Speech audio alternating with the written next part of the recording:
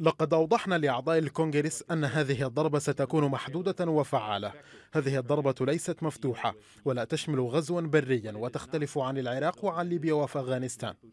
إن نتائج عدم التحرك ستكون أسوأ بكثير من التحرك لأننا بذلك سنقوض المعايير الدولية وسيصبح تحريم استخدام هذه الأسلحة أكثر مرونة. والأسد سيخال أنه يمكن أن يفلت من العقاب وسيكرر فعلته مجددا.